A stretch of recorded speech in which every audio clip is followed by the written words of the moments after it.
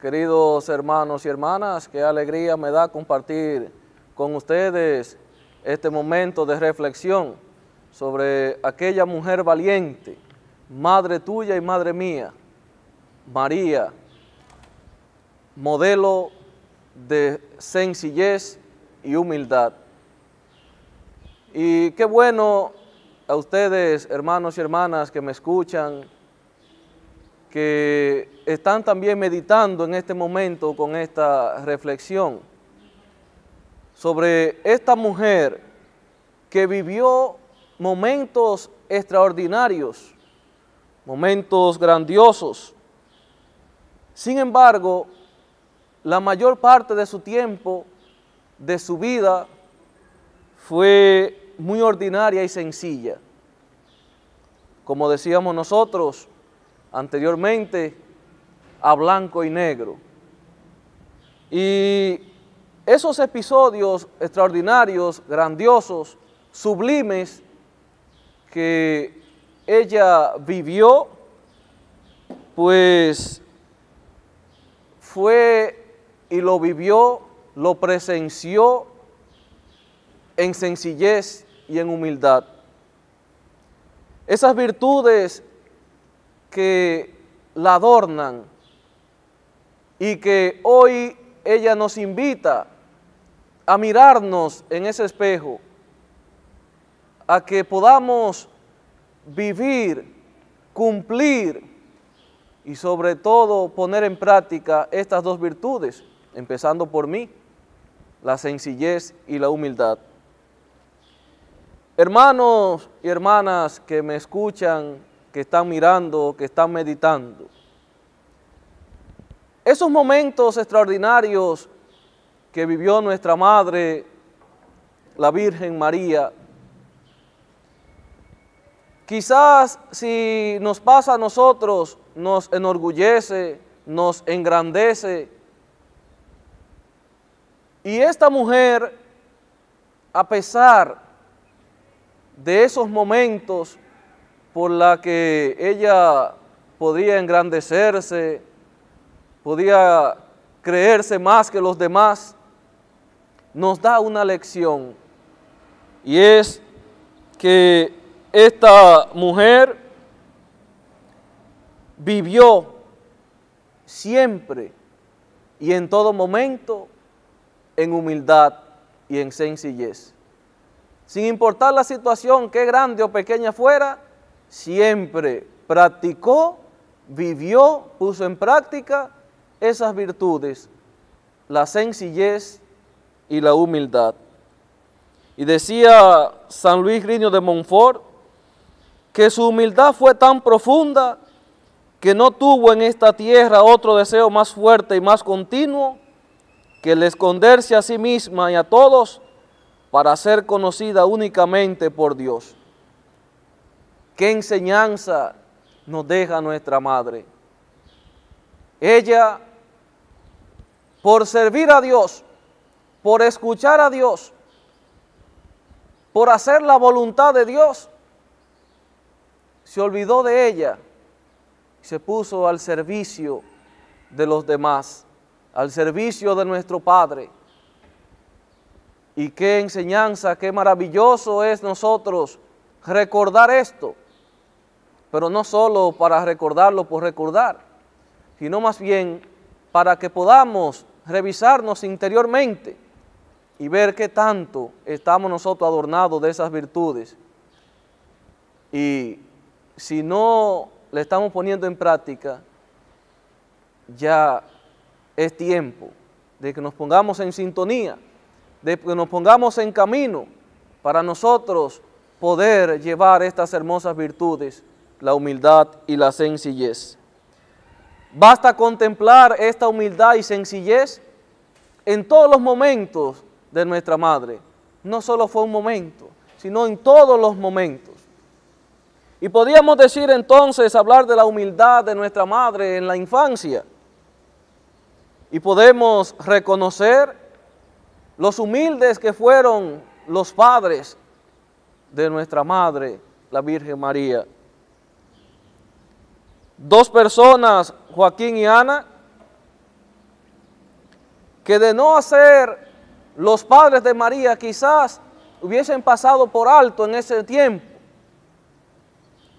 Sin embargo, esas personas, Joaquín y Ana, que eran originarios de Nazaret en una pequeña aldea de Galilea, es decir, un pequeño pueblo de Galilea, que estaba a unos 170 kilómetros de Jerusalén, allá donde nadie pensaba que Jesús podía poner su mirada, pues ahí llega la obra de Dios. Ahí entonces es que el Señor se fija en aquella que ha elegido para que sea tu madre y mi madre. Podemos decir entonces que María vivió todos esos años en absoluta normalidad. Una joven, una adolescente, al igual que nosotros también hemos ido viviendo en normalidad, pero con una pequeña diferencia, en que todo el que la conocía, todo el que la trataba, coincidía y veía reflejado en ella esa sencillez y esa humildad. Y esa sencillez y humildad que la caracterizaba nos llevaba, llevaba a esas personas de ese momento y hoy debe de llevarnos a nosotros a sentirnos alegres, a contagiarnos de esa alegría, a contagiarnos de esas virtudes, de la humildad y la sencillez que tanto hace falta hoy día en el mundo, en nuestro país, en nuestra sociedad, en nuestro pueblo. Pero también podemos ver esta humildad de nuestra madre en la anunciación. Y qué admirable es ir comparando cada frase del anuncio del ángel a nuestra madre. Pero no solo el anuncio, sino la reacción de ella a ese anuncio. Él la llama llena de gracia, alégrate, llena de gracia. Y ella lo que hace es que se turba, se sonroja al escuchar esto que no estaba esperando, llena de gracia. Pero él continúa, has hallado gracia delante de Dios es decir, le ha encantado a Dios. El Señor se ha fijado en ti, al igual como también se ha fijado en nosotros. Y sobre todo, ella lo que hace es entonces agacharse, bajar la cabeza, porque ella estaba sorprendida, no estaba esperando esa llamada. Pero el mensajero el ángel que el Señor le envía a ella, continúa diciéndole, tu hijo será grande, será llamado Hijo del Altísimo, reinará sobre el trono de David y su reino no tendrá fin. Qué palabras tan profundas, tan grandes, tan hermosas. Sin embargo, María al escuchar esto, no se engrandece. No dice, bueno, ahora soy yo la madre del Señor, yo soy la que sé, yo soy la más grande. No. María simplemente al escuchar esto, dice la siguiente palabra. He aquí la esclava del Señor.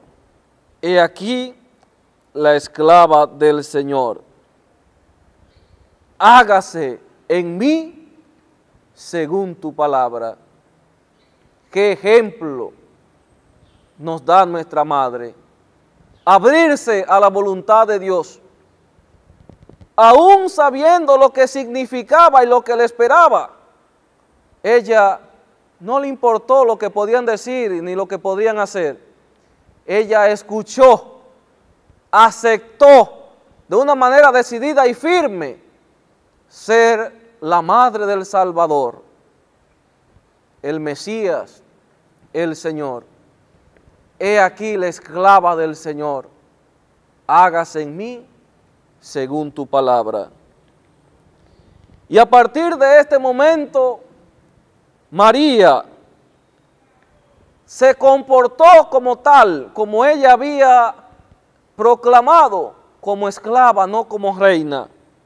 Se puso a reinar, pero no un reinado como el que nosotros conocemos hoy día, sino que su reinado fue en servicio, se puso a servir.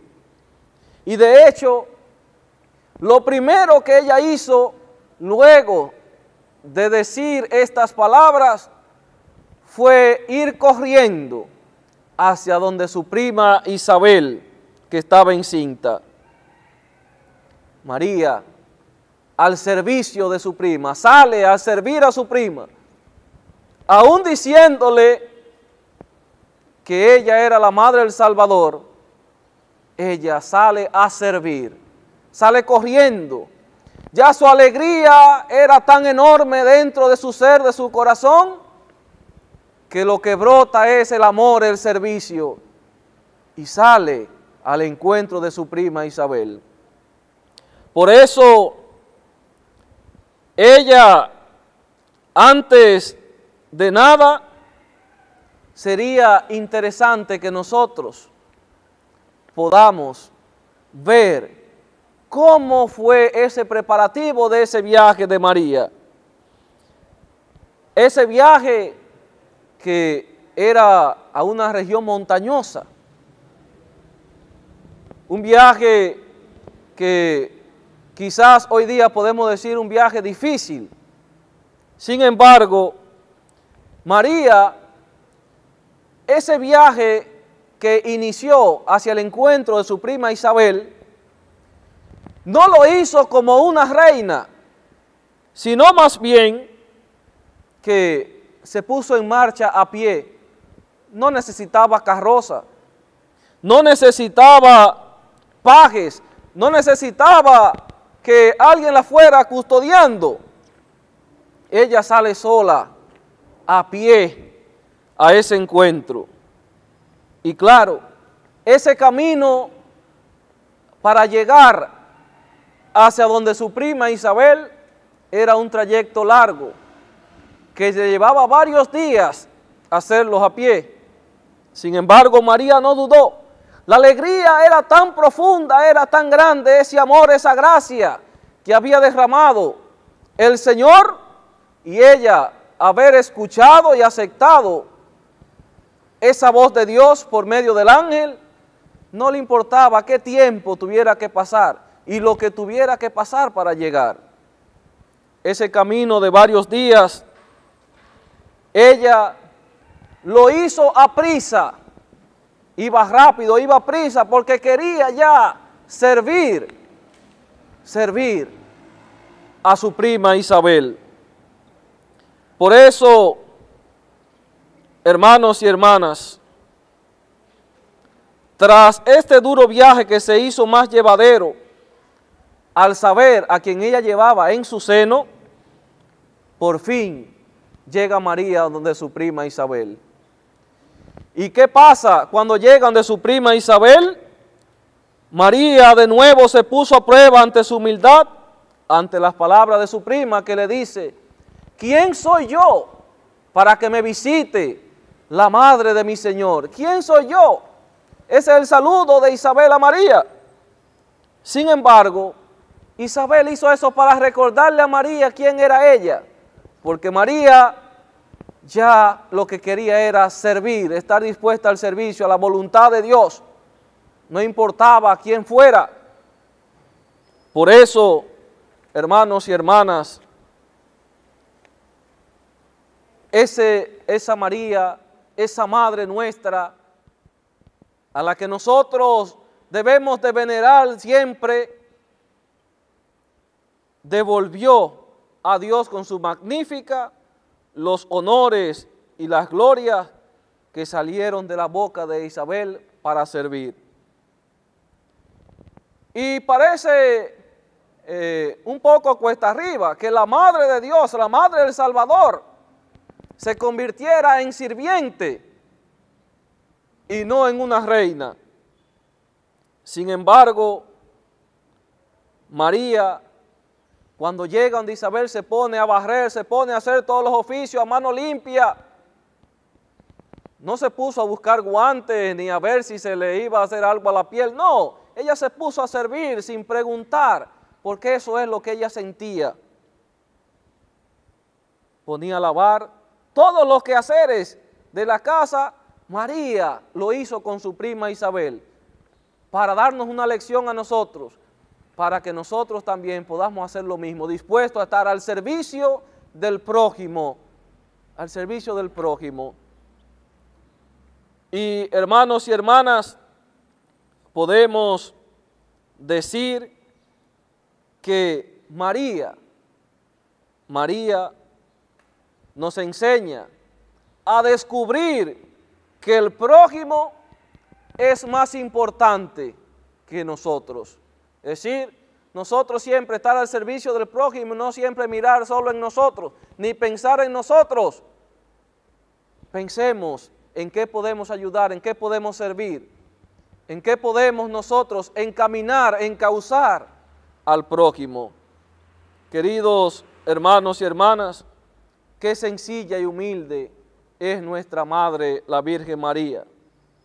Su dignidad y grandeza la mostró siempre en el amor hecho servicio, pero un servicio sencillo, pero sobre todo alegre.